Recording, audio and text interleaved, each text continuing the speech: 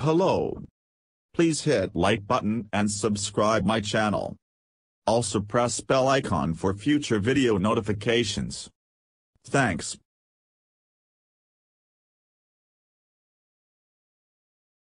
December 29, 2022 at 6.09 p.m. Eastern Time Tires. Keep that in mind because, as you'll soon see, tires are the key component in this three-way super SUV drag race. Okay. They're a key component in pretty much any race involving wheeled vehicles with motors. But as Jason Cammisa keenly points out in his latest Hagerty drag race video, Grip beats outright power in this showdown. Let's consider the contenders. At 631 horsepower, the Porsche Cayenne Turbo GT has the lowest output of this SUV trifecta, though it's certainly no slouch. Porsche says its high-performance people mover can reach 60 miles per hour in 3.1 second, which coincidentally is exactly the same time Aston Martin publishes for the DBX 707.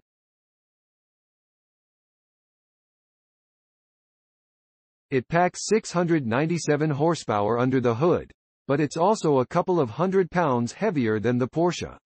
And then there's the Rivian R1S, which is a lot heavier than the Cayenne 1, 200 pounds to be exact. but it also delivers 835 horsepower to the ground through a quad-motor electric powertrain. Now, about the tires. Of the three SUVs, the Rivian R1S is the only one equipped with tires befitting a vehicle that might venture off the pavement. Its all-terrain shoes have a very high treadwear rating, meaning they will last for miles and miles but aren't terribly sticky. Meanwhile, the Cayenne Turbo GT has ultra-high performance tires with extremely low treadwear. They want live long. But whoa, Nelly will they claw at tarmac until the bitter end. The Aston Martin is comfortably in the middle. You probably see where this is going.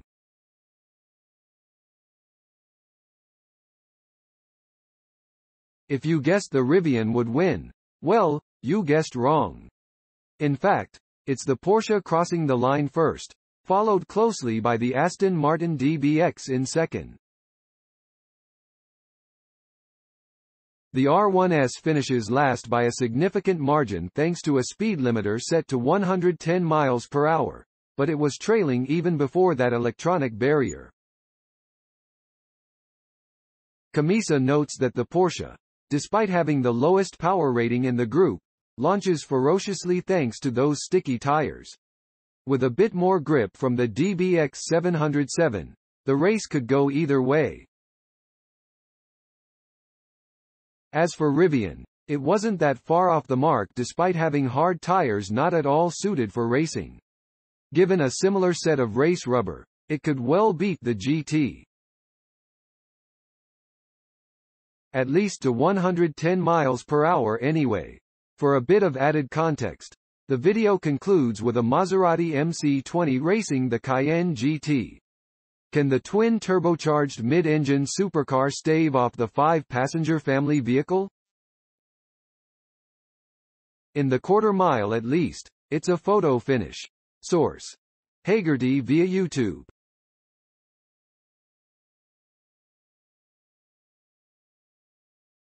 Thanks for watching. Credits to www.motor1.com and Spy Build LLC. Please subscribe my channel for more auto updates.